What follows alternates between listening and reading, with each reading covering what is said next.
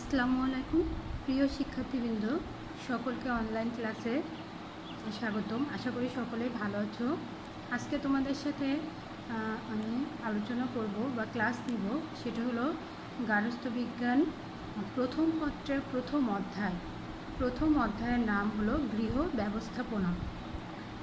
দেখো, মানুষের মৌলিক চাহিদাগুলোর মধ্যে গৃহ একটা অন্যতম। গৃহ মানুষের আশ্রয়স্থল এখানে মানুষ তার জীবন ধারণের সকল সুযোগ সুবিধা ভোগ করে। আবার পরিবারের সদস্যরা তাদের চাহিদা অনুযায়ী সকল জিনিসের যে যোগান দেয়, সেটাই হলো গৃহ ব্যবস্থাপনা। যে কোনো প্রতিষ্ঠান চালানোর জন্য যেমন ব্যবস্থাপনা প্রয়োজন হয়, অপরিহার্য, তেমনি পরিবার নামক প্রতিষ্ঠানটি চালাতে গেলে একটা ব্যবস্থাপনার প্রয়োজন রয়েছে। ব্যবস্থাপনায় যেমন কোনো লক্ষ্য স্থির করে কয়েকজন মিলে একটা সুনির্দিষ্ট প্রক্রিয়ার মাধ্যমে তার বাস্তবায়ন করার ঠিক তেমনি গৃহ ব্যবস্থাপনাতেও পরিবারের সদস্যগণ পারিবারিক কিছু সুনির্দিষ্ট লক্ষ্য অর্জনের জন্য ব্যবস্থাপনার পদ্ধতিগুলো অনুসরণ করে থাকে। একটি পরিবারকে তার সীমিত সম্পদ ব্যবহার করে বিভিন্ন সমস্যা মোকাবেলা করার জন্য সঠিক সিদ্ধান্ত গ্রহণ করতে হয়। এখন আমরা শিখব গৃহ ব্যবস্থাপনার সংজ্ঞা। গৃহকে ভিত্তি করে যে ব্যবস্থাপনা কার্যক্রম সংগঠিত হয়, তাই হলো গৃহ ব্যবস্থাপনা। পরিবারের সদস্যদের উদ্দেশ্যে, উদ্দেশ্য সাধনের জন্য গৃহ যে ব্যবস্থাপনা পদ্ধতি অবলম্বন করে, তাই হলো গৃহ ব্যবস্থাপনা। আমাদের দৈনন্দিন কাজে আমরা বিভিন্ন ধরনের ব্যবস্থাপনার সাথে জড়িত। একজন মানুষ তার কাঙ্ক্ষিত বা নির্বাচিত লক্ষ্যসমূহ অর্জন করার জন্য বিভিন্ন রকম ব্যবস্থা গ্রহণ করে। এই ব্যবস্থা গ্রহণের জন্য সে পরিকল্পনা তৈরি করে, সিদ্ধান্ত গ্রহণ করে, নিয়ন্ত্রণ ব্যবস্থা গ্রহণ করে এবং কাজের ভালো মন্দ যাচাই করে। মার্কিন গারস্থ অর্থনীতিবিদ ইরমা এইচ ব্রস ও এলিজাবেথ ওয়ালবার্ট ক্যান্ডলের মতে, গৃহ ব্যবস্থাপনা একটা মানসিক পদ্ধতি যার মাধ্যমে পরিবার পরিকল্পনা, নিয়ন্ত্রণ ও মূল্যায়নের মাধ্যমে মানবীয় ও বস্তুগত সম্পদ ব্যবহার করে উদ্দেশ্য অর্জন করে তাহলে আমরা শিখলাম যে গৃহ ব্যবস্থাপনা জিনিসটা কি বা গৃহ ব্যবস্থাপনার সংজ্ঞা। এখন আমরা জানব গৃহ ব্যবস্থাপনার উদ্দেশ্য। গৃহ ব্যবস্থাপনার কতগুলো উদ্দেশ্য আছে, তার ভিতরে হলো গৃহ ব্যবস্থাপনার স্তর বা পদ্ধতি সম্পর্কে ধারণা গঠন, সুষ্ঠু পারিবারিক জীবন গঠন, সমস্যা সম্পর্কে সচেতনতা বৃদ্ধি, সঞ্চয় সম্পর্কে সচেতনতা বৃদ্ধি, পরিবেশ রক্ষা সম্পদের সুষ্ঠু ব্যবহার, গৃহ পরিকল্পনা ও নির্বাচনে সচেতন হওয়া, কর্মজীবী নারীদের সুষ্ঠু জীবনযাপন, মূল্যবোধের গুরুত্ব, পরিবেশের ভারসাম্য রক্ষায় সচেতন হওয়া, জীবনযাপনের মান এবং পরিবারের দায়িত্ব ও কর্তব্য। এছাড়াও আছে সিদ্ধান্ত গ্রহণ ও বাস্তবায়নের ক্ষমতা বৃদ্ধি।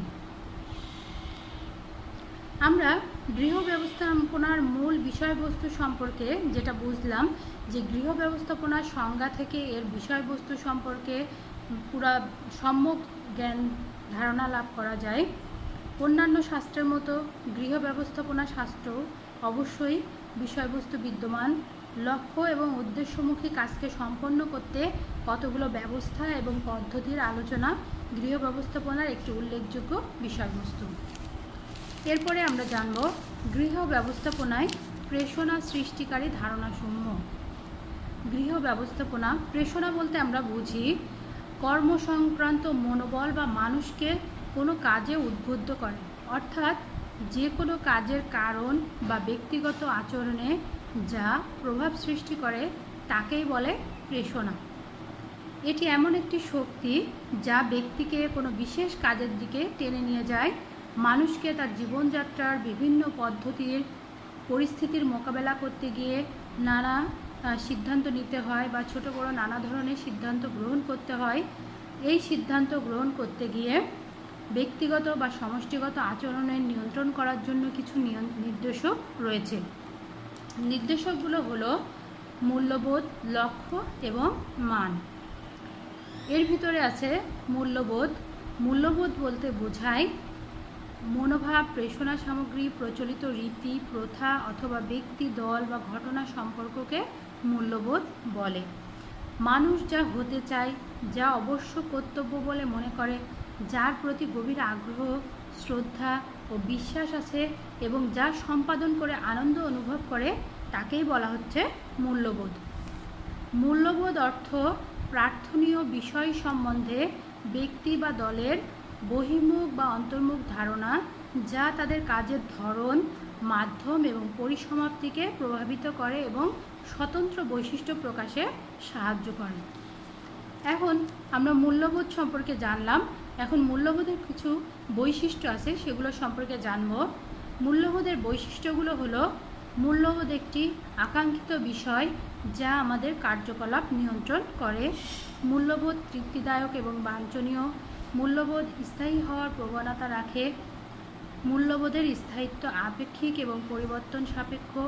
একটি মানুষের আত্মিক সম্পর্ক এবং ইচ্ছার মানদণ্ড। এরপরে আমরা জানব মূল্যবোধের পরে আসে আমাদের লক্ষ্য। লক্ষ্য বলতে আমরা বুঝি যে কোনো কাজের সঠিক বাস্তবায়নের আকাঙ্ক্ষাকে লক্ষ্য বলে। লক্ষ্য বা উদ্দেশ্য সবসময় মানুষের চেতন মনে অবস্থান করে। মানুষ যা চায় তাই তার লক্ষ্য। লক্ষ্য বলতে বোঝায় ভবিষ্যতের আকাঙ্ক্ষিত ঘটনা বা পরিস্থিতি। তবে সব আকাঙ্ক্ষিত পরিস্থিতি বা ঘটনা বা লক্ষ্য এক নয় নির্দিষ্ট সময়, মূল্য এবং আঙ্গিকে হতে হবে। ছোট বা বড় প্রত্যেকের জীবনে কিছু লক্ষ্য আছে। পরিবারের কাজের পরিসমাপ্তি লক্ষ্যে প্রকাশ পায়। একটি ব্যক্তিগত জ্ঞান, দক্ষতা এবং কর্ম আচরণকে কেন্দ্র করে গড়ে ওঠে। মানুষ লক্ষ্যের মাধ্যমে তার পরিতৃপ্ত পেতে চায়। তাহলে আমরা লক্ষ্য জিনিসটা কি এটা বুঝলাম। লক্ষ্যের আবার শ্রেণি বিভাগ আছে, অর্থাৎ লক্ষ্য, দীর্ঘমেয়াদী বা চূড়ান্ত লক্ষ্য, মধ্যবর্তকালীন বা স্বল্পকালীন লক্ষ্য এবং তাৎক্ষণিক লক্ষ্য। দীর্ঘমেয়াদী লক্ষ্য বলতে আমরা বুঝি স্থায়ী লক্ষ্য, যেটা অনেক দিন ধরে এটা লক্ষ্য করা যায়। এই লক্ষ্য হলো সময় সাপেক্ষ এবং এটা সব সময় মনের মধ্যে, আমাদের মনের মধ্যে বিরাজ করে। যেহেতু এই লক্ষ্য মধ্যবর্তী লক্ষ্যের উপর প্রভাব বিস্তার করে, সেজন্য এর গুরুত্বটা অনেক বেশি। যেমন কেউ শিক্ষক হতে চায় বা কেউ ডাক্তার হতে চায়, এটা হলো একটা দীর্ঘমেয়াদী লক্ষ্য। এজন্য তাকে অনেক দিন ধরে প্রস্তুত হতে হয় বা প্রস্তুতি নিতে হয়। এরপরে আছে মধ্যবর্তীকালীন লক্ষ্য। এই লক্ষ্যগুলো দীর্ঘমেয়াদী লক্ষ্যের তুলনায় অল্প সময়ের জন্য বা সিদ্ধান্ত গ্রহণ করতে হয়। যেমন, কারও প্রকৌশলী হওয়ার ইচ্ছা, তাহলে তাকে মাধ্যমিক এবং উচ্চ মাধ্যমিক পরীক্ষায় ভালো ফলাফল করতে হবে। এরপরে হলো তাৎক্ষণিক লক্ষ্য।